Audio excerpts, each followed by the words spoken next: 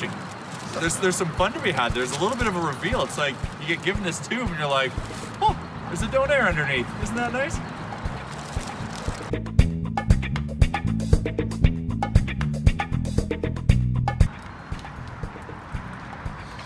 All right, we are back. We are in the Gravy District at Burger Baron. Carlos and the boys hooked us up with a fat bag of donairs. We got Karim, our partner from Cornerstone. This is his favorite place. He says Burger Baron's got the best donairs. It's pretty official. Halifax Donairs.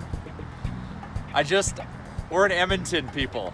We eat Edmonton donair. So the fact that you claim to be Halifax just drives me It fucking says up Halifax the on there on the wall. It refers to it as a Halifax donair, so we'll see if it stands up. This is more beef. This is an East-West rivalry. But Jay's already so. mad. I think so. He's already mad. Let's go crush these do it. Halifax donairs. Two pack versus Biggie. Let's do it. All right, we're sitting out back in the Gravy District in the Nation truck. Let's first get everyone's thoughts on Burger Baron. I'm relieved. We've been on such a dry run of walking into donair shops and not having an Oilers bowl. You know, they had the little homage to, I think there was a signed slats saying thanks, thanks "Best for the best best wishes, thanks for the burger. There was a Billy Guerin. Billy Guerin. Bill Guerin, There was a. Dougie Doug Weight. Love Dougie Weight. So they got signed Oilers memorabilia on the wall. That was good. They, they even went as far as to have an Oilers burger on their menu. Oh, it's fairly legit, right? It's a, an Albertan institution. That's why- up by Red Deer. That's why I find it so weird they're so adamant calling it a Halifax donair. Like you got a place that's just extremely Edmonton in there, like all the 90s Oilers, like the GM. So like this is this is an iconic institution. Like look at the building. It's the same as it was in 1984 on both the inside and the outside. And you know the it can only be explained the inside as having like so much kitchen. That was the biggest kitchen I've ever yeah. seen. My only beef is that they call this a Halifax donair. Well, I think the origin of donairs in Edmonton is quite contentious. Everyone gets really passionate about donairs in Edmonton. Um, I think I'm led to believe that this family brought donairs to Edmonton. Came across the country on a wagon and a horse with the donair, with the with the Yeah. just the meat on the thing, and they brought it, and they were the first ones. Oregon Trail. When you yeah, know, when yeah, when yeah, type uh, dive diphtheria. diphtheria. There it is. Dysentery. So this is the dysentery. first. This is the first ever donair in the city. We're gonna dive in and see if it stands up. Okay. No, that's in your I'm no donair expert, um, but I believe what separates a Halifax donair from a regular donair is no lettuce, right? no veggies. No veggies. No, they're Oh. meat, cheese, and sauce. Okay. Yeah, they all have the gout in Eastern Canada. Now, going in early on this doner before I bite, we got meat right to the front, so I'm really happy about that. Cheese does not look melted. Pita is can be described as mildly steamed, but we'll see. We'll bite. First bite, and I got the first impression of a very strong sauce. Yeah, you have to have that sweet sauce. It's like a, it's like Yeah. a nice rug, ties the room together. Yeah. Sauce makes the air right?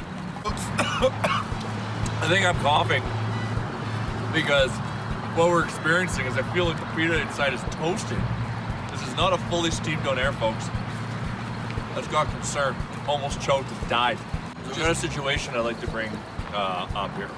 And I'd like, I need, I need someone to come in and ch- check this out. And you see what's happened here is they've got wrapper overlap that's then overlapped and sealed by the pita. I was about to bite in and eat half wrapper. There's nothing more Edmontonian than having a donair in the parking lot, in the back of a pickup, oh, tailgating. If we, if we just had like a case of cold ones, this would be like the supreme game day tailgating experience. I really like the meat here. Like,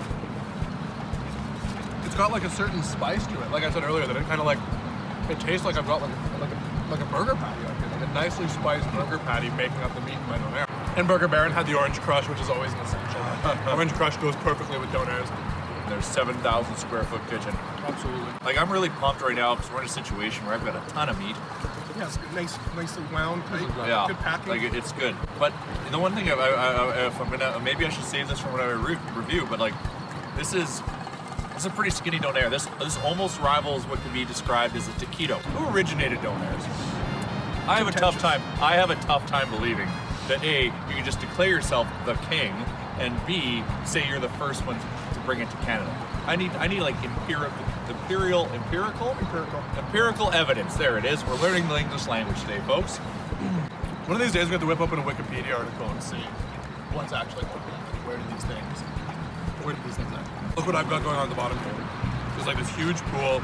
Now we're down to like the very good, the very gritty, which is just like a nice, wet, saucy, greasy pita with a little, with a whole bunch of meat left over. So I'm getting myself like the spice, and I'm getting the sweet mixed in here. This is fantastic. All right, so I'll kick things off because I finished first as I always do. That is what I will say is a nice, compact, strong doner. It had everything that I like about a doner, things that are important to me. Good meat that's cooked well, it was warm. Good sauce that has that really like sweet flavor. But this one also had something unique, which was a very spiced meat. And I think that's a Burger Baron special. I think you had Carlos and the boys back there dumping some special, some special kind of spices on there. Maybe there was some gravy, I don't know, whatever it was, but it was fantastic. This is one of the better doners I've had on this tour. Every bite was full of something. So I'm gonna give this thing an 87. Yeah, I echo my esteemed colleague uh, Pam's sentiments. Uh, very nicely, tightly packed. What I liked was the uh, crispiness of the of the pita shell. I think it gives it a, To each their own. yeah, different uh, world of, of texture. I think uh, when looking at donairs, you always have to think about the layers of texture, and then of course the centerpiece of it all, the sauce. Absolutely. Today, I felt wasn't the best effort, but I'd give it a strong 82. Wow. You know what? I, I, I, I there's no bias there. That was like a legit, Yeah, honest review. That was, that was All right, no homerism here. No, Karim is, sorry. is his integrity level is max. So clearly, this place is an institution. This drive-through has not stopped being lined up since we've been here. You know, they've got an Oilers burger on the goddamn menu, which tells you that they're legitimate because they're allowed to do so. Uh, the Oilers wall made me feel good, but you know, I, I, I like the nostalgia. There's an experience to be had by coming to Burger Baron. So I found the sizing of this to be limited. Like, trust me, I'm not looking to eat a jumbo donair and go back to work. That's physically impossible. So I feel like, you know, this was a little bit small, undersized, scrappy. The meat was good. The spicing was good. I'll give it all that. The sauce was good. It wasn't consistent throughout the donair. The cheese I didn't mind. It was melted. But this pita, you know, I'm uh, maybe I'm a traditionalist, maybe I'm an Edmonton Donair traditionalist. I don't know who invented the steamed pita, but I am on team steamed pita. Uh, so I struggle with that. I almost died. I don't know if you saw me. If you caught that earlier, I choked on the on the crunchiness you of, on the of, the Donair. It almost been in a wrapper, but that I can't blame uh, Burger Baron for that. The one thing I got to give Burger Baron props for is they hooked it up with napkins. They gave the, we left here with a bag of napkins. Didn't have to ask for it. Didn't have to look for them. Having said all that, uh, I'm gonna give this a 79. And it's it, it's all the ingredients are there for it to be good, just a few little tweaks. So would I come to Burger Baron again? Yes. So what do you think, boys? Yeah, I think I would come back to Burger Baron again. I was impressed. I think they could change the name to the Donair Baron. Ooh, Ooh. that's. I would like to see Now the Baron and the King fight, Yeah. and then the, for the Queen's affection. Yeah, thanks for watching. Um, thanks to Karim for coming out and hitting us up with this place. So everybody who's watching, thank you for watching. Suggest your favorite place, and we will try to get to it. We're going to be doing this for years. Our goal is to get to every single place and find the 97 donut. Awesome.